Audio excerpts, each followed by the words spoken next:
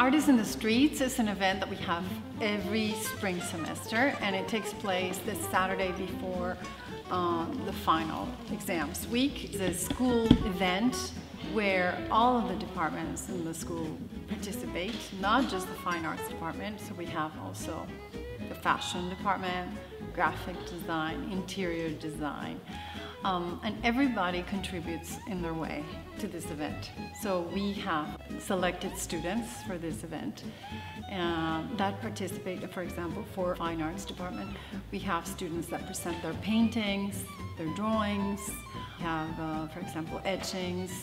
We also have other departments such as the photography department that are also there, or we have uh, the jewelry department that are also there. There is the selection and students are there present and then there will be uh, an external group of uh, a jury that comes around and looks at the work and there is an awards ceremony.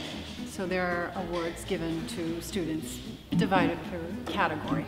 Beyond that, though, it's a very fun event and students participate with the locals and you know so it's a very wonderful thing to participate in for everyone. And i always say to my students whether you are exhibiting your work or not come over and join us. This is a beautiful beautiful thing.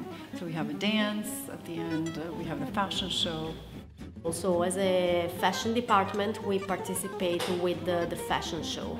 So we start deciding a theme that generally is uh, cohesive for all the courses. Then for sure everyone, depending on the, the materials that uh, we can work with, uh, we can uh, twist a little bit the theme. So once the theme is decided, we start uh, looking for uh, materials. We work on them mainly or decorating or doing changes or modification so we guide them through very basic sewing sewing technique so that they can put together a fashion idea. Um, mostly it comes from beginner students, so um, it's really something important for them to in one course to like learning to draw the fashion figure learning how to put together a collection learning how to organize a fashion show and to model because you know they they model in, uh, in most cases they model themselves their own garment.